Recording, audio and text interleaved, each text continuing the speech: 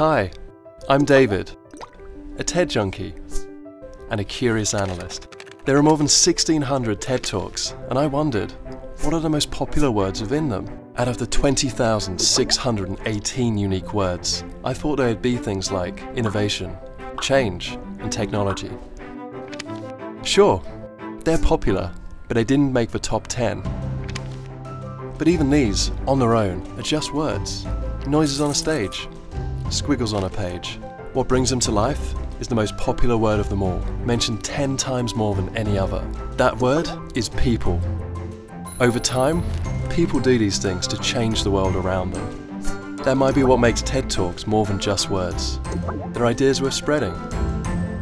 To people